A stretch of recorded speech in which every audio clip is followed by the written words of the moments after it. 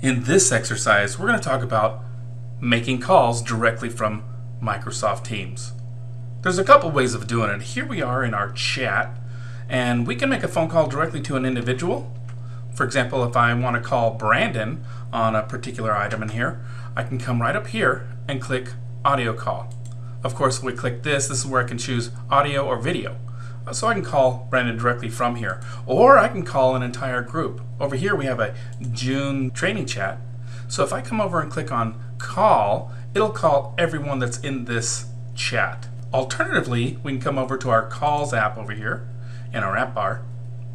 And then we can make some calls directly from here as well. Here on the left hand side is a list of a personal list that I can call from.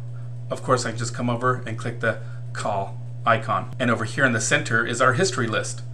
From here, we can call anyone from in here by just cl clicking call next to them. On the right hand side, we have a speed dial. These are people that we've identified that we want to have quick access to them. When I want to call them, I'll just come over and click the call. Pretty simple. I can also call from voicemails. If I come up and click on voicemail, it's going to show me any voicemails that I have in here. I've removed most of them, but I can come right over here and click call. Or I can click my ellipse here and choose call back. Maybe I want to just do a chat or any one of these things. And the last way is using our contacts.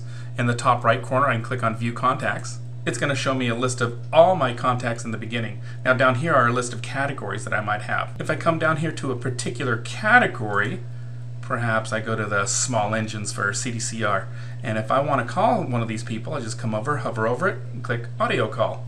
Or I can click more options and click audio call from here as well. And just to give you an idea what this looks like, if I come over and say I want to give Christina a call, I can see that she has a little icon here meaning that she's away right now. But let's see what happens. If I click on audio call, it shows that they're calling her and now I'm in the call with her.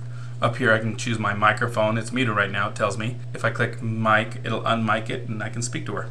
Otherwise I'll click leave. And that's all there is to it. Well, thanks for joining me. I hope this information was helpful, and remember to share your knowledge.